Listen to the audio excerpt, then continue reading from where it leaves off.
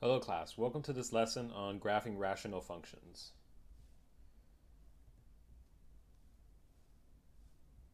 Right, so uh, we're going to be um, all about graphing rational functions today. So how can we uh, go about doing this? What is the process for graphing them? The learning goal is to be able to graph translations of what we call the reciprocal function and graph generic rational functions. All right, so the vocab includes uh, asymptotes, rational expressions, rational function, and the reciprocal function. So let's talk about the reciprocal function first. The, recip the reciprocal function maps every non-zero real number to its reciprocal. So for example, if you have, you know, the value x is equal to 1 and you plug it into the reciprocal function, well, you're going to get the reciprocal of 1, right? The reciprocal of 1 is, well, it's, so 1 is the same thing as 1 over 1. If flip it, you still get 1 over 1 if you get if you have x is equal to 1 half, well then if you plug it into the reciprocal function, you're going to get y equals 2 over 1 when you flip it. So the reciprocal function just means you, uh, you, you flip the fraction and that gives you your result. So the reciprocal function is given by y equals 1 over x. And the reciprocal function has uh, some key features to it. It has what we, uh, what we call asymptotes. An asymptote is a line that the graph approaches but never actually reaches. Uh, the reciprocal function has two types of these asymptotes. It has a vertical asymptote and a horizontal asymptote. So we'll see how that looks like when we actually draw the reciprocal function. We're going to do a sketch of that in the next uh, slide here. The asymptotes here guide the end behavior of the function. So we'll be able to see how this looks like.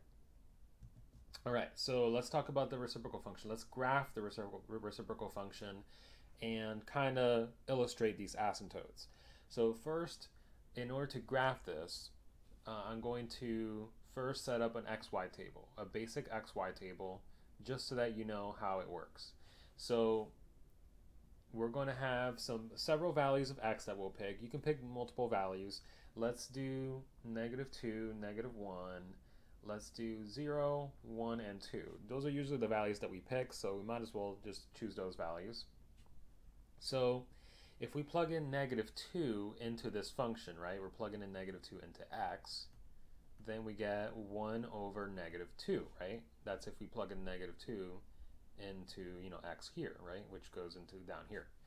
So that'll give us negative 1 half. So that's it. That's, that's our guy, negative 1 half, which is negative 0.5. Now let's we plug it into negative 1, well we get 1 over negative 1, which is just negative 1. Now let's plug it into, uh, let's start plugging this into, for example, uh, 0. Let's do 0. y equals 1 over 0. Well, we can't we can't divide any we can't divide by 0. Okay, so we know that 0 divided by 1 is 0. But 1 divided by 0 is what we call undefined. We can't do it. We can't divide by 0. We can divide into 0, but we cannot divide by 0. Okay, so we can't divide by 0. It's just not possible. It's what we call undefined or in infinite. Uh, it goes to infinity. So this will say that it's undefined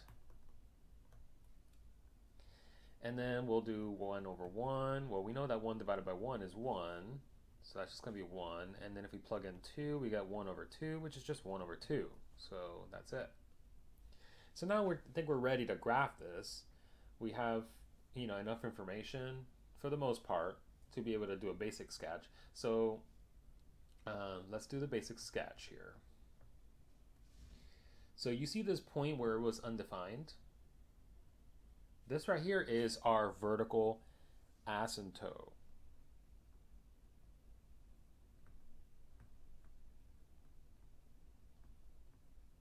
And so that's given by, I'm going to just kind of do a dashed, a dashed line there.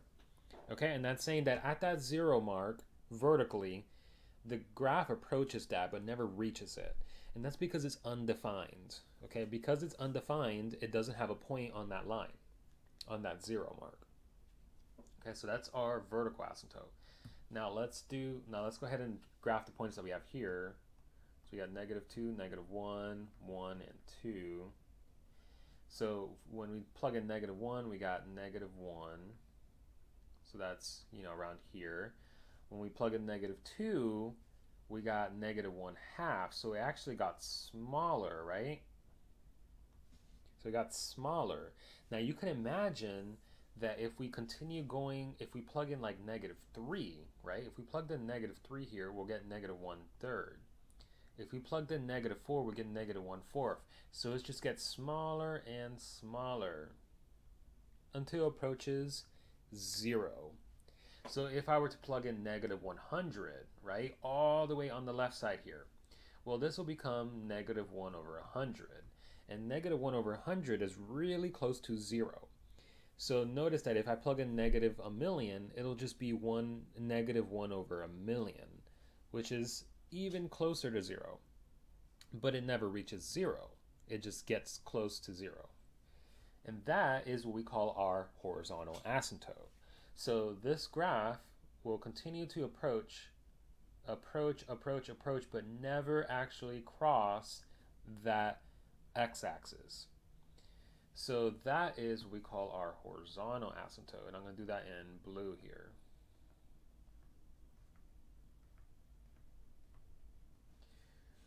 So, so that means that y equals 0, which is this blue line, is our horizontal asymptote.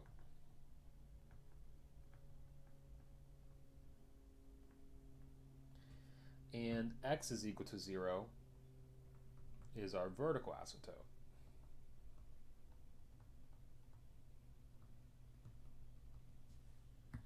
All right, so now let's go ahead and um, continue this graph.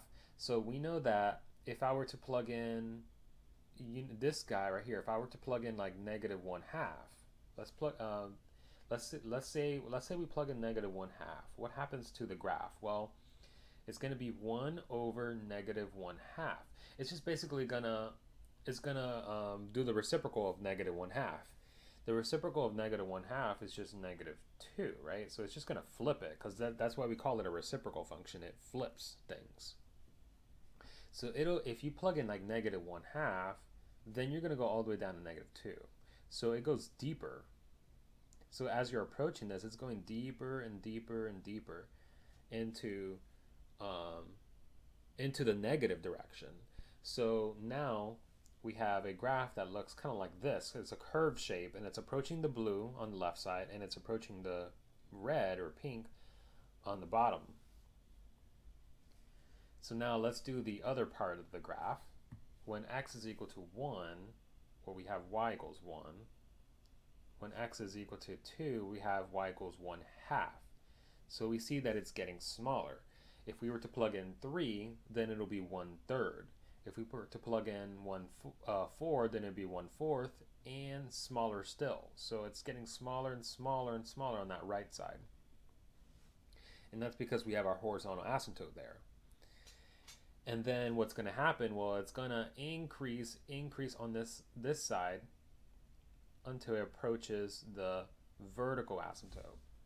So again, let's go back to the definition of the asymptote. An asymptote is a line that it approaches, but usually never crosses, right? So usually it does not cross. So it just approaches it. So you can kind of think of the vertical and horizontal asymptote as guides to help you graph the function. So if we can find these uh, asymptotes, then it'll help us graph. All right, and this right here is our reciprocal function. This right here is our reciprocal function y equals 1 over x. That's the basic um, shape of that graph. And we're going to be doing transformations of that graph. All right, so the general transform version of the reciprocal function is a over x minus h plus k. So remember that the reciprocal function was 1 over x. But this time you can have stuff in the numerator instead of just, just being 1, you can have a generic number a there where the numerator is like 2, 3, whatever. And you can have a transformation here. So you can have this being minus 2, for example, and then having a plus 5 on the outside. Okay, so like, so you can transform this so that it shifts. So the h is the shift left or right, the k is the shift up or down, kind of like it was in our other functions, right? When we did the parabola, we know that it was x squared, but then when we shifted it, it was x minus h squared plus k. Same thing here.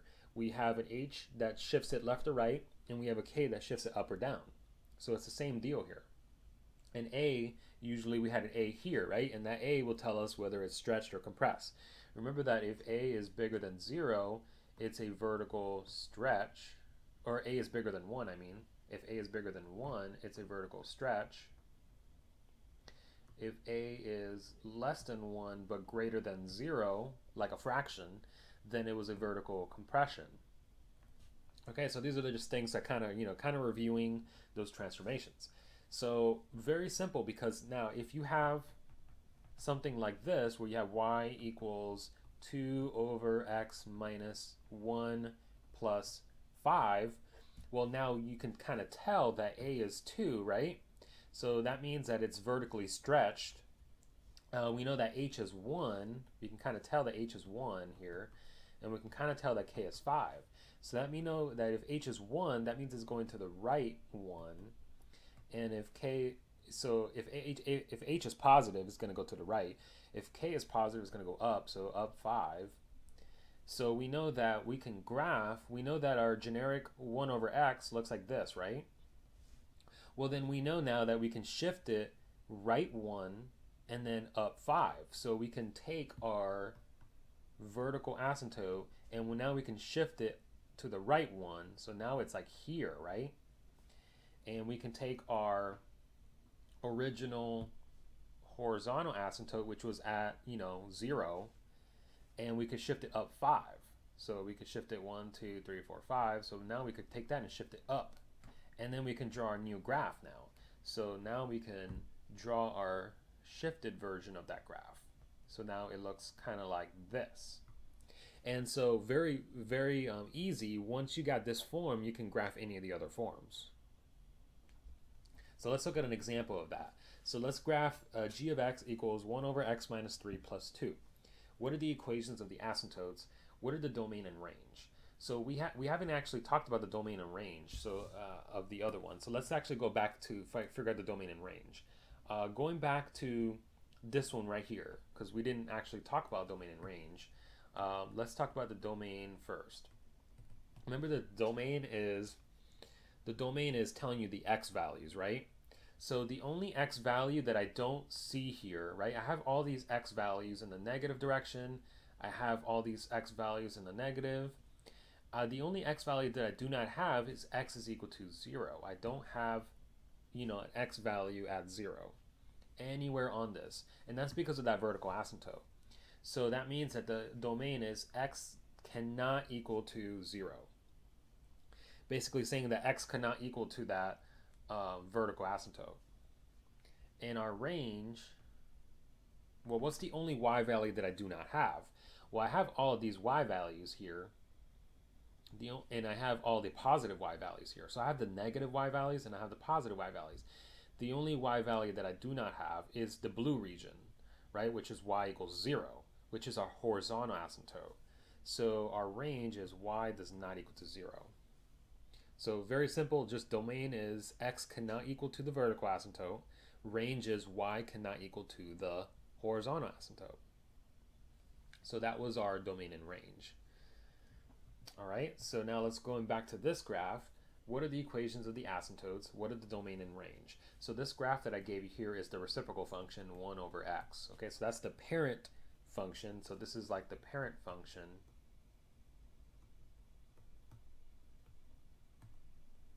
Uh, for the reciprocal function. Okay, so now we know, you know, what the parent function looks like. We know that we have 1 over x minus 3 plus 2 so that means if we compare it to this, right, if we compare it to a over x minus h plus k, well, we can see that h is 3, and we can see that k is 2. So if h is positive, that means it's going to the right 3. And if k is positive, it's going up two. So all we got to do is we got to shift, we have to shift the vertical, so that we have to shift the vertical asymptote, or the, um, we have to shift the vertical asymptote to the, to the right 3. So if the vertical asymptote is here, right, then it's going to be shifted to the right 3. So let me do that first. So this right here is normally our vertical asymptote, but now it's going to the right 3. 1, 2, 3. So our vertical asymptote is now here. Okay, so I'm going to erase this now. I don't have that vertical asymptote anymore. And then our, and I realized I switched the colors. Uh, blue is vertical and red is horizontal. So I'm gonna I'm gonna try to keep it so that blue is vertical from the here on out, and the red or pink is horizontal. And then uh, so k is equal to two. So normally our horizontal goes like this, but this time it's gonna go up two, right? So it's gonna go shifted up two. So now we no longer have this guy, and we can draw our new uh, function now. So we know that it goes like this, and then goes like this. And there you go. There's our graph. That's all we needed uh, to do for that graph. Very simple. All right, go ahead and uh, give it a try um, using the transformations that we discussed.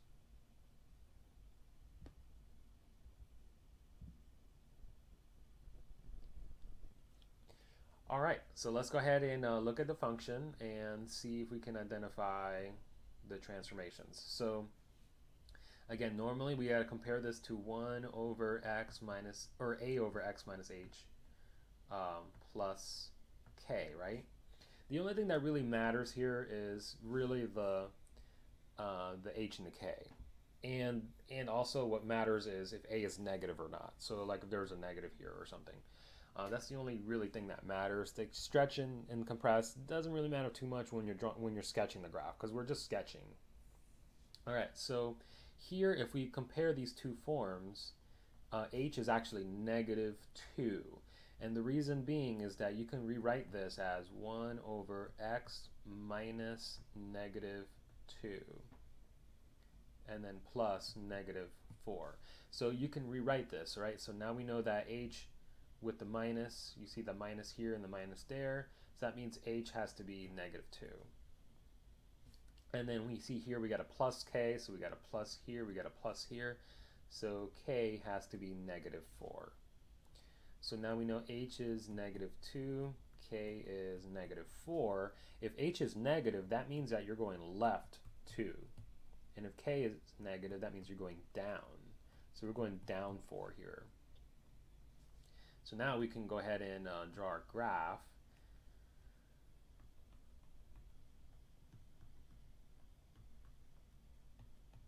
So if we draw our graph, well, we know that our our vertical asymptote here, well, we know that it's going left two, right? So that means that our vertical asymptote is going, normally it starts at the zero, but it's going, it's shifting left to negative two.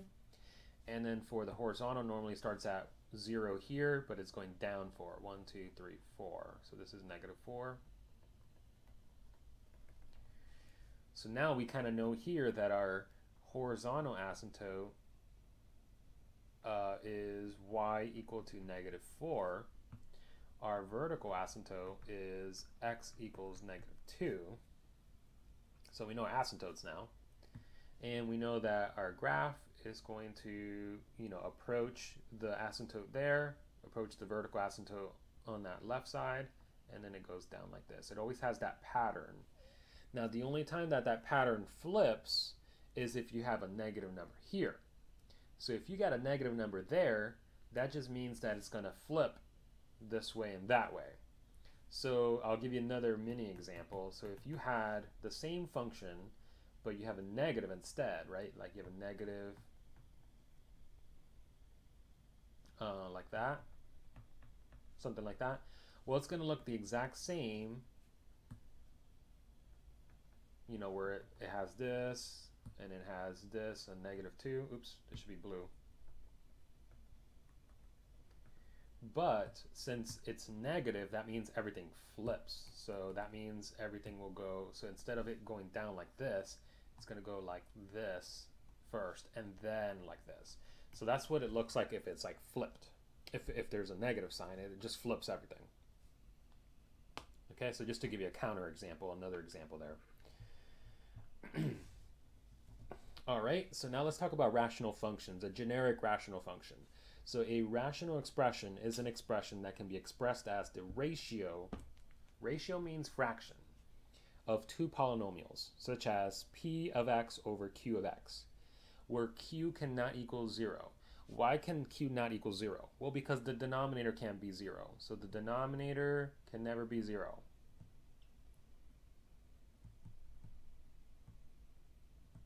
Why can't it be 0? Because we cannot divide by 0. Remember, we cannot do that.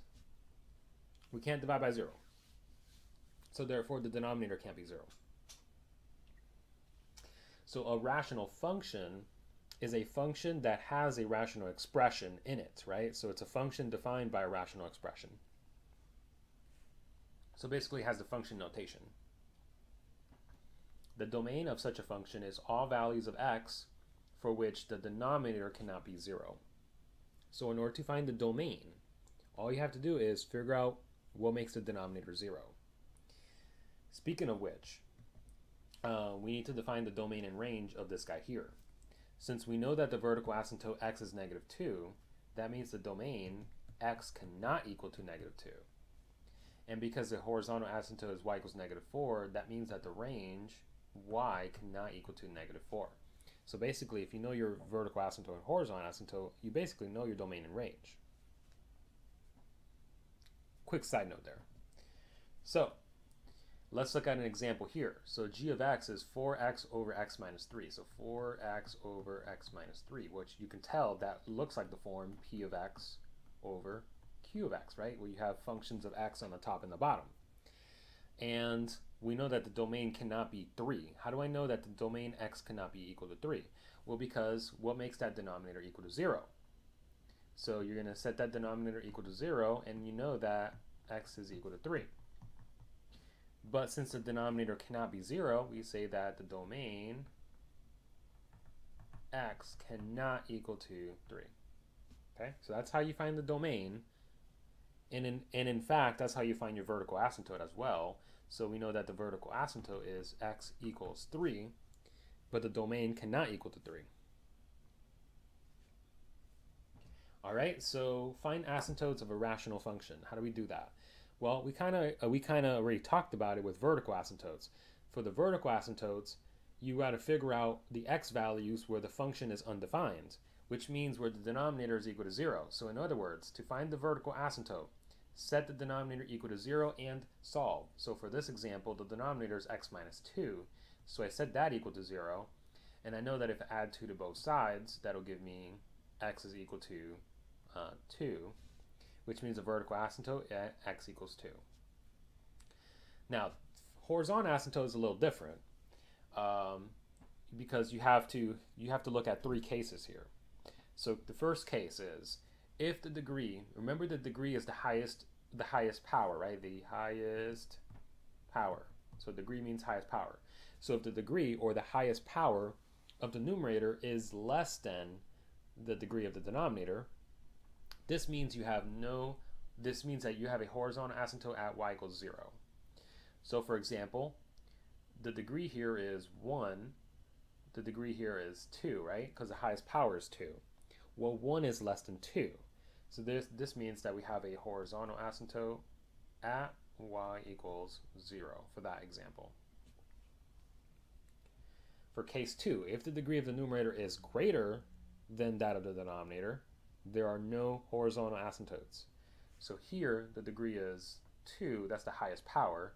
Here the degree is 1, so 2 is greater than 1. This means you have no horizontal asymptote. Uh, case 3.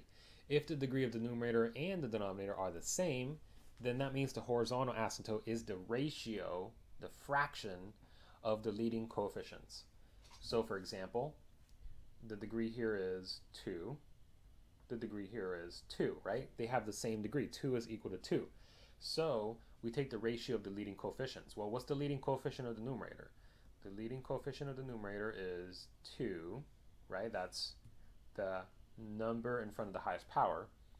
And then the leading coefficient of the denominator is 1. There's an invisible 1 in front of that x, right? So then you take the ratio of those coefficients, so you just divide those. So 2 over 1 is 2. So that means we have a horizontal asymptote at y equals 2 over 1, or 2. That's all you got to do. So I'll give you another example. So let's say we had f of x equals 3x cubed plus 2x squared plus 1 over x squared minus 4x cubed. Well, in this case, the degree here is 3. Highest power is 3. The degree here is 3 because the highest power is 3. Uh, the leading coefficient for the numerator is 3. The leading coefficient for the denominator is negative 4. So we have here 3 over negative 4, which is negative 3 fourths. So our horizontal asymptote is negative 3 fourths for that example, for that mini one. So note, if your function is written in the transform reciprocal form, which is the a over x minus h plus k form, that means that your vertical asymptote is simply given by x equals h. And your vertical asymptote is simply given by um, is simply given by y equals k. So if you know, for example, this one, 2 over x minus 5 plus 3, well, I can, I, I can easily identify that my vertical asymptote is x equals 5. I can easily identify that my horizontal asymptote is y equals 3. So that's it. That's all you got to do. So once you know that, then you can graph the function. All right, so find the vertical and horizontal asymptotes of the rational function 3x minus 2 over x squared plus 7x plus 12.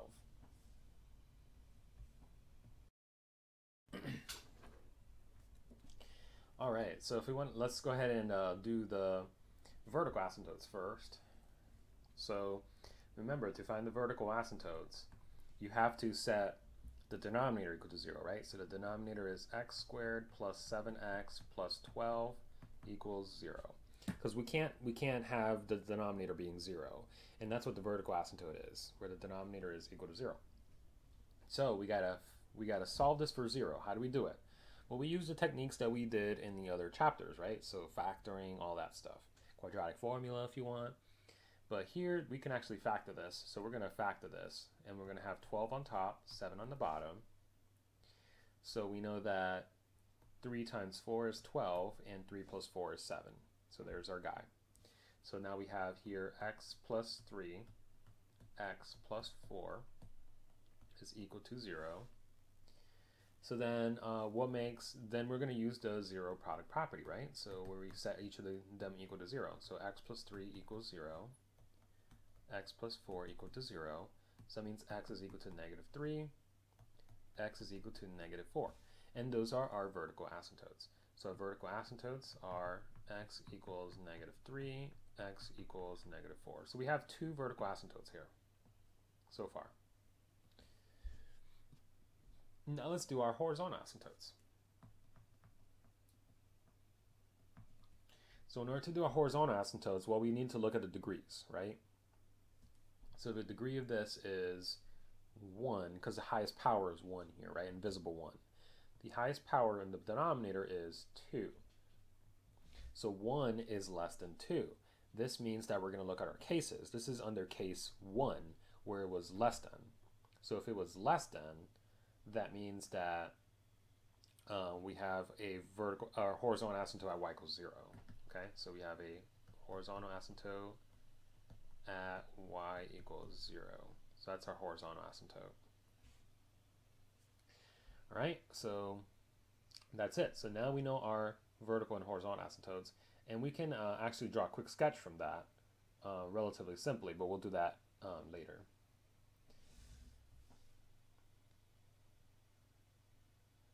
Right, go ahead and uh, give it a try. Find the horizontal and vertical asymptotes for each function.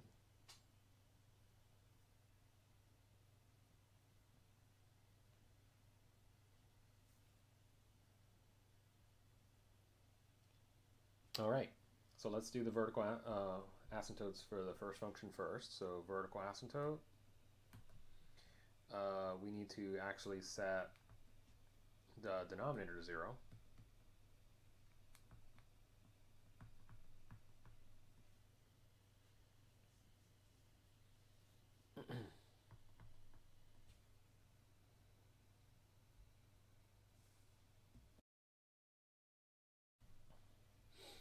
All right, so now we want to be able to factor this.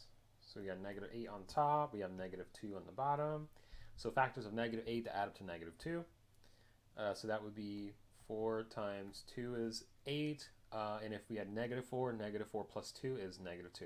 So that works. So we have x minus 4, x minus 2 equals 0. Use the ZPP here, the zero product property x minus 4 equals 0, x minus 2 equals 0, x is equal to 4, and x is equal to 2. So those are vertical asymptotes. All right, and then uh, next we want to uh, find the horizontal asymptotes. Now we know that the degree of the numerator is 2. We know that the degree of the denominator is 2 as well. So 2 is equal to 2 that means we need to uh, take the ratio of the leading coefficients. So that means that we have the leading coefficient of that is 2. The leading coefficient here is an invisible 1. So we got 2 over 1. So our horizontal asymptote is, we have 2, so y equals 2 over 1, which is equal to 2. Uh, so we have y equals 2. All right, now let's look at part B. So we're going to set, for the vertical asymptote, we're going to set the denominator equal to 0.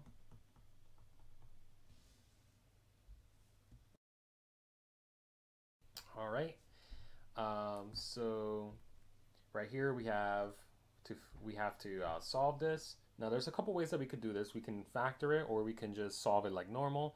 I'm just going to solve it like we normally like we normally would. Just add 12 to both sides. 3x squared equals 12. We can divide by 3. x squared equals 4. And then uh, remember that the only way to get rid of a squared is with a square root. Um, but if you do the square root, you need to make sure that you include the plus or minus sign. So we have here x is equal to, well, the square root of 4 is 2, but we have 2 and negative 2, right? Because we have the plus or minus versions. So those that's a vertical asymptote. These are our possible vertical asymptotes. Here's the tricky one about this though. Before you finalize this and say that this is a vertical asymptote, there's a tricky one to this. Because yes, these are the possible vertical asymptotes. However, look at the numerator. We can actually factor the numerator, right? So um, we could factor the numerator and we can actually factor this too. So, so let me show you how to do it when we factor this. Okay, so this right here, we can factor this with an x table. 4 on top and 5 on the bottom. Well, that's going to be 1 and 4.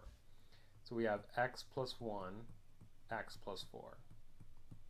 Now for this bottom one, let me do this off to the side. We can full, you can factor out the 3. If you factor out the 3, we have x squared minus 4. If I pull out the 3 from this. Now, this x squared minus 4 is a difference of squares. Remember the difference of squares, a squared minus b squared is a plus b, a minus b. So this can factor as x minus 2 and x plus 2. So this can factor out as x plus 2 and x minus 2. Now, if if um, the x plus 4 cancels out with the x plus 2, like if let's pretend that this was x plus 2 as well, then these would also cancel, and therefore you would not have a vertical asymptote here if it canceled. However, since nothing canceled, we are perfectly fine. Uh, just keep that in mind that sometimes they'll try to trick you and if the, any of the factors cancel, then that's how you then that's how you know that to cancel out one of those vertical asymptotes. But here, none of the vertical asymptotes cancel, so we have both of our vertical asymptotes intact, and so that's my final answer. I just wanted to let you know a, a side note for that. All right. So example four. So let's graph a function of the form ax plus b over cx plus d. In order to graph a function of this form, you can either use long division or you can just find the horizontal and vertical asymptotes the way we showed you earlier. I want to show you how to do both ways because we're going to have to graph this. So we're going to show you how to graph it, you know, using either way. So let's do the long division method first. So we have here 2x plus 1 is being divided by 3x minus 4. Which means we'll have to do long division here. So we have 3x minus 4 on the outside. We have 2x plus 1 on the inside. So this is um, this is a little uh, easier just because we don't have as much division to do. Uh, but in this in this way, it's a little bit harder just because now you have to figure out, well, we want to get 2x, right? How do we get 2x from 3? Well, I know that if I multiply 3 by 1 and a half, or if I multiply uh, 3 by 2 thirds, it'll get me to, uh, to 2. How do I know that? Well, 3 times 2 thirds. The 3's cancel, leaving me with 2. So I know that I can do this as 2 thirds. Okay, so now if I do 2 thirds times 3, 3 times 2 is 6, 6 divided by 3 is 2. See, that's a little tricky because of the fraction. Um, but sometimes you'll, you'll encounter those. And then 2 thirds times 4. What's 2 thirds times 4? Uh, well, 2 times 4 is 8, and then so you get 8 over 3. So we get negative 8 over 3. And then we subtract. That cancels. Two negatives become a positive, and then 1 is the same thing as 1 over 1, right? But so we can multiply for a common denominator by 3 and get 3 over 3. So then we know that 3 over 3 plus 8 over 3 is 11 over 3. Okay, so that's our remainder. So our remainder is 2, you know, so we have 2 thirds plus, uh, so our final answer basically, so this is our remainder. Uh, that's our remainder right there. So then if we were to divide this, this is 2 thirds plus 11 thirds over 3x minus 4. That's the quotient form uh, that you may have seen. So that's the quotient form. Uh, so that's if you did the long division way. Now this already tell the good thing about this is this already tells you um, you can use this to tell you know like what the vertical asymptote is, like how much is shifted, all that stuff. But I wanted I wanted to you know just kind of refresh your memory on long division. However, if you don't if you don't like long division, that's fine. We can do this without long division. We can simply find the vertical asymptote the normal way. So vertical asymptote set the denominator equal to 0. So now we have to add 4 to both sides. And get 3x equals 4. Divide by 3 on both sides. And that is our vertical asymptote. All right, horizontal asymptote. We have um, our, uh, let's, let me rewrite the function here. So the degree of that is 1, the degree of that is 1. So we need our leading coefficients, 2 and 3. So our horizontal asymptote is y equals 2 over 3. All right, so now we can graph this.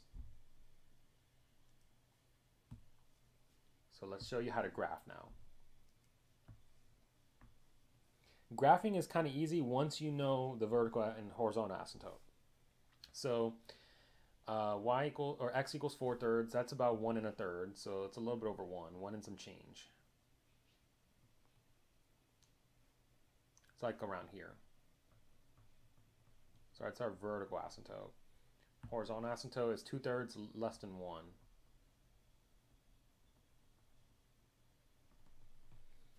Now, here's what I suggest for graphing. what I would suggest is plugging in a number to the left of the vertical asymptote and then plugging in a number to the right of the vertical asymptote. Okay, so a number to the left of the vertical asymptote would be like x equals 0. So let's plug in 0. And then let's plug in a number to the right of the vertical asymptote like 2. Okay? So let's plug in 0 into the original function. So the original function was y equals 2x minus 3, or it's 2x plus 1, I'm sorry. 2x plus 1 over 3x minus 4. Okay, so let's plug in 0 into this. So we get y equals 2 times 0 plus 1 over 3 times 0 minus 4. Well, if we plug that in, this goes away. So we got 1 over negative 4. So 1 negative 1 fourth. So that number is negative, right? And that means that it is below my red. It is below the horizontal asymptote. So since if I plug in 0, I'm going to get negative 1 fourth around here. That means that this graph behaves like this, approaches that, and then it approaches that.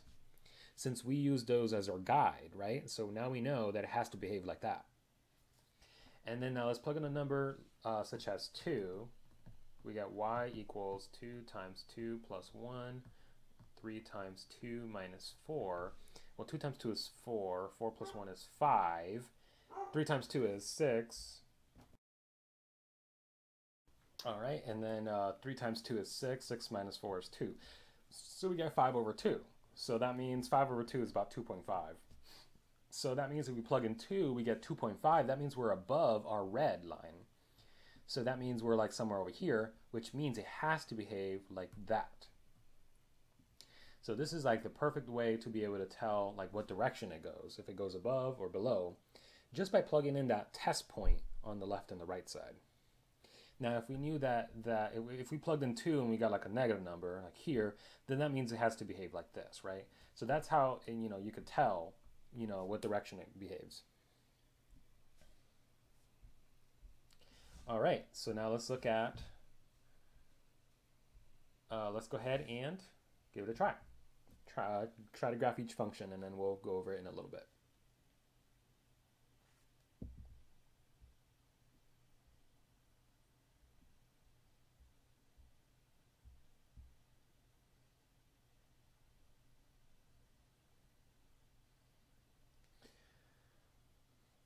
All right. So let's look at this one. So our vertical asymptote, we want to set the denominator equal to 0. So we subtract 8 on both sides. We get x equals negative 8. So that's our vertical asymptote. Now let's look at our horizontal asymptote. We want to uh, figure out the degree. So the degree here is 1. Highest power is 1. The highest power here is 1 as well. So the leading coefficient here is 4, the leading coefficient here is an invisible 1. So the horizontal asymptote is y equals 4 over 1, or y equals 4. So we can graph it right away.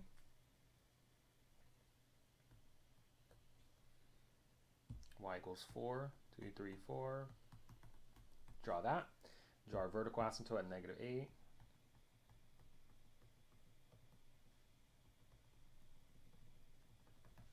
All right, so now we have that.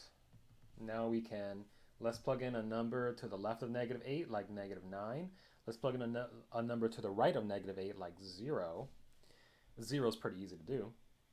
Uh, now let's plug in negative 9 first, right? So we our original function was y equals 4x minus 3 over x plus 8. So let's plug in x equals negative 9. So we get y equals 4 times negative 9 minus 3 over negative 9 plus 8. So uh, we got negative 39, if we did that on the calculator, and then negative 9 plus 1 is negative 1. So we get 39. So if we plug in negative 9, we get 39. So it's all the way up here, right? So that means we know that it behaves like that, where it's approaching that blue. And now let's plug in x equals 0. So we get y equals 4 times 0 minus 3, and then 0 plus 8. So we get negative 3 over 8. So we get a negative number. So that means it's, you know, it's if we plug in 0, we get a negative number around here. Let me uh, erase this because it's kind of hard to tell uh, here.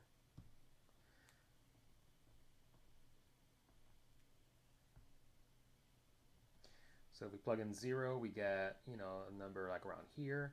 And since it's below, that means we know that it acts, it, it has to approach there and it has to approach here. Okay, so if it's below the red, then that means it's going to be approaching the red from the bottom. If it's above the red, it's going to be approaching the red from the top, you know, uh, from the top side. And that's our graph. Now let's look at this one, vertical asymptote. We set the denominator equal to 0, so x minus 1 equals 0, x is equal to 1, done uh, horizontal asymptote. Let's look at our degrees. Degree here is 1, degree here is 1. So you look at our leading coefficients, invisible 1 here, so it's y equals 3 over 1 or y equals 3. All right, so now we draw a quick graph. We have vertical asymptote at 1, horizontal asymptote at 3. And then let's plug in a number to the left of 1 like 0 and then let's plug in like uh, to the right of 1 like 2 so if we plug in 0 we have we're going to plug in 0 into you know this function the original. Y equals 3 times 0 plus 2 over 0 minus 1 so we get 2 over negative 1 which is negative 2 so that means we if we plug in 0 we get negative 2 that means it has to behave like that and like that. Now let's plug in x is equal to uh, 2. We get y equals 3 times 2 plus 2 over 2 minus 1. 3 times 2 is 6. 6 plus 2 is 8. So we get 8 over 1, which is 8. So that means we're all the way up here at 8 when we plug in 2. So that means we're above the red. So that means we're approaching the red down there, approaching the blue there and that's our graph. Pretty straightforward to do the graph once you know the vertical and horizontal asymptotes for these kind of functions. Now it can get a little bit more complicated when you have multiple vertical asymptotes, etc., which we'll be doing in the next uh, example. So for example 5, you could have more than one vertical asymptote, uh, and that will kind of complicate it a little bit. It'll make it it'll make the graph look complicated, but the process is the same. It's just a little more work.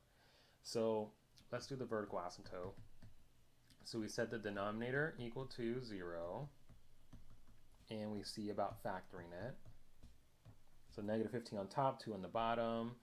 So that means it's going to be 5 and negative 3.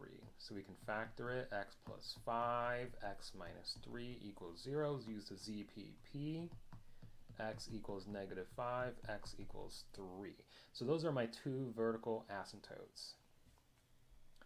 And then we need to find our horizontal asymptote. Let's look at our degrees. The degree here is 2.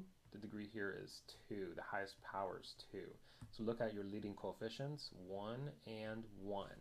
So it's y equals 1 over 1, which is y equals to 1. So we got our horizontal asymptote, we got our vertical asymptotes. We can kind of, we can uh, start doing the sketch here. So we had x is equal to 3, 1, 2, 3. So we have that vertical asymptote there. We have negative 5.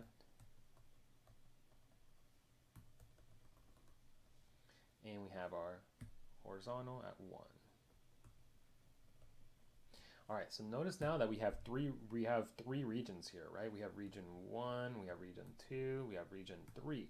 So we have to test uh, multiple x values. So let's test to the left of this first uh, area, like negative 6.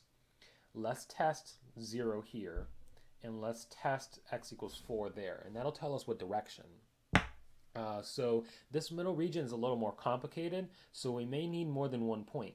The reason why this middle region is complicated is because you have the horizontal asymptote kind of here, so we know it cannot cross, right, uh, that. So there's a couple of things that could happen here, right? It, it could be that this may cross like this. It's possible for it to cross like that. Or it could it could do this, right? In the middle. So the middle is a little bit more complicated. So that's why for the middle, we may need more than one just one x value to test there. So we may end up, what I may end up doing is I may end up testing 0, negative 1, and 1 just to be on the safe side. So let's plug in negative 6 uh, into the graph, the function first. So let me rewrite the function. f of x is x squared plus 2x plus 8 over x squared plus 2x minus 15. So let's plug in x equal, let's do at, let's do x is equal to negative 6 first. So f of negative 6 equals, so negative 6 squared plus 2 times negative 6 plus 8 negative 6 squared plus 2 times negative 6 plus or minus 15. So uh, 6 squared is 36 and then 2 times negative 6 is negative 12. So I got 36 minus 12 plus 8, and then 36 minus 12 minus 15. So in the top, we get, you know, 32. In the bottom, uh, we get 24, we should get 9. So 32 over 9. Right, so that's a fraction. So that's a little bit over 9 goes into 32 three times, so a little bit over 3. So, so that means uh, when we have negative 6, we get a little bit over 3, like around here. So now we know how it behaves. It has to go like this, it has to go like this, right? Now let's test. Let's uh, let's do four first. Let's do the right side first, and then we'll do the middle because the middle one's harder. So let's do 4. Uh, f of 4 equals 4 squared, 2 times 4, 4 squared, 2 times 4 minus 15. So we have 16 plus 8 is 24, so we get 32 on the top. Uh, 16 plus 8, that's 24. 24 minus 15 is 9. So we also get 32 over 9. Surprisingly enough, we get the same number. So we have basically the same thing going on on that side. Okay, so we have uh, it looking like that. Now let's look. Now let's plug in 0, negative 1, and 1. Okay, just to be safe. So let's do 0 first, because that's pretty easy. Uh, 0 squared, 2 times 0 0 squared, 2 times 0 minus 15, so that gives you negative 8 over 15, so that's a negative number. Uh, so around here, less than negative 1. Now let's test negative 1 and then 1.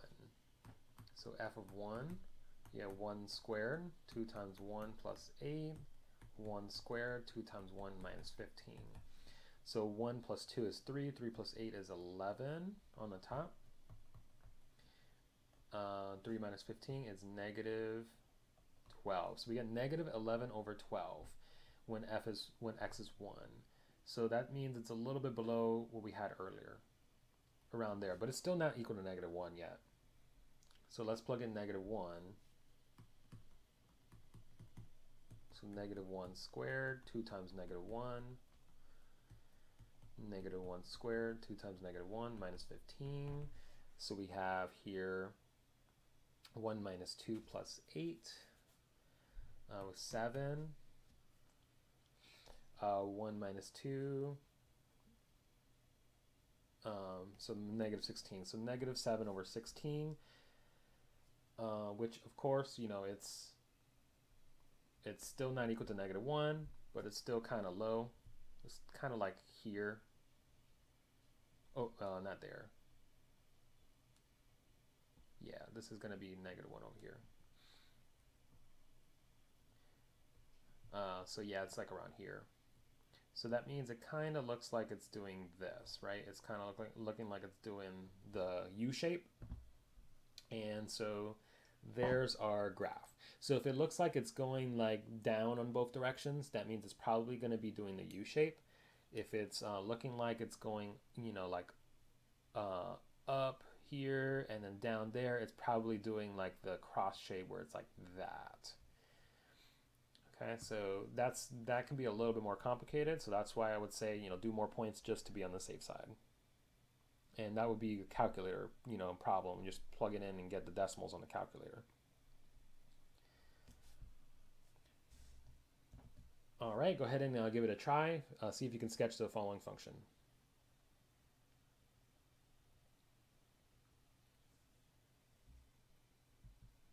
All right, so let's go ahead and do it. So let's look at our vertical asymptote first. So we set the denominator equal to 0 and solve. Now this can be, uh, this is one of those factoring ones where you like pull stuff out. So we can pull out a 2x. If we pull out a 2x, we get x. 2x times x is 2x squared. If we pull out a 2 from 10, that's going to be 5. So now we used a ZPP. So 2x equals 0, x minus 5 equals 0. So divide by 2 on both sides, x is 0. Add 5 on both sides, x is 5. So we got our uh, vertical asymptotes, 0 and 5. And now let's do our horizontal asymptotes. So the degree here is 2, the degree here is also 2, leading coefficient is 1, leading coefficient is 2, so a horizontal asymptote y equals 1 over 2. All right, so now we can graph. Um, so 0, 1, 2, 3, 4, 5. Okay, so we got 1 half is around here. We have uh, 0, x equals 0, which is the y-axis, and x equals 5. So we have two vertical asymptotes, one horizontal. So let's test, uh, let's test like negative 1. Let's test 1. Uh, we, may we, may, we may need to test more than one in the middle, right? Because we have two regions, one, two, and three regions here. So let's test like uh, 6 as well, and we may need to test 1, 2, and 3, just to be on the safe side, on the middle. Okay, so let's plug in, so let's rewrite our function.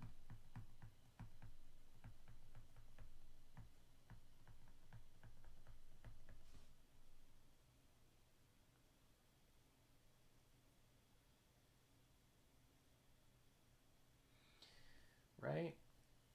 Uh, so now let's plug in negative 1 first. So g of negative 1, negative 1 squared, 5 times negative 1, 2 times negative 1 squared, 10 times negative 1. Right, so we have negative 1 squared is 1, negative 5 times negative 1 is 5, so we have 1 plus 5 is 6, 6 plus 6 is 12, this will be 2, 2 plus 10 is 12, so we get 1.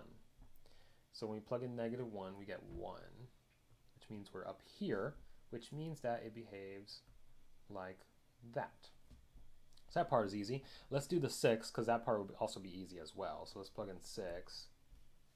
So g of 6, 6 squared, 5 times 6, 6 2 times 6 squared, 10 times 6. So we have 36 minus 30 is uh, 6. 6 plus 6 is 12.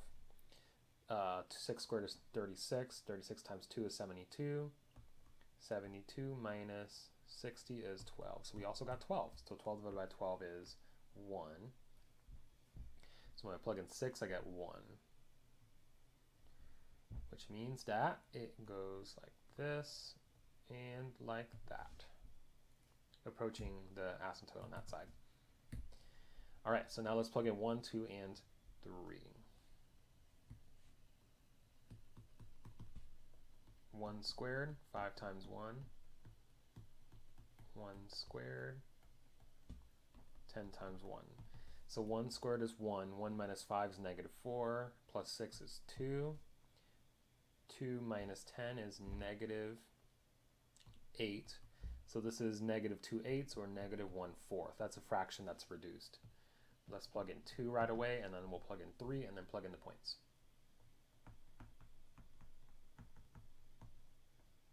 Two times two squared, 10 times two.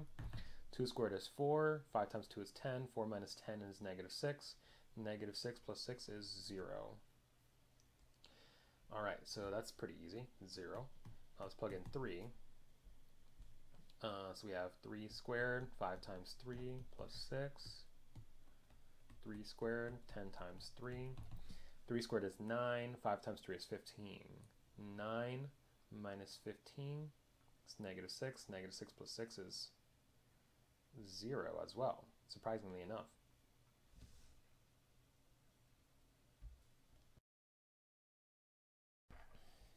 All right, so let's go ahead and uh, plot those points real quick. So we have here at 1, we had negative 1 fourth, which is around here. At 2, we had 0. At 3, we had another 0.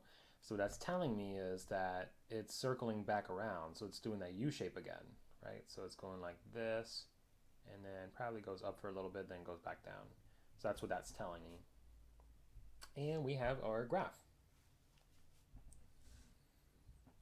All right, so basically, vertical asymptote, set your denominator equal to zero. Horizontal asymptote, use those three cases to determine which one you have. Identify both of those, and then test each region, you know, with a x value to the left to the right uh, to determine how the graph looks like, and then that's how you graph it. I hope you found this uh, lesson informative, and I'll see you in the next one.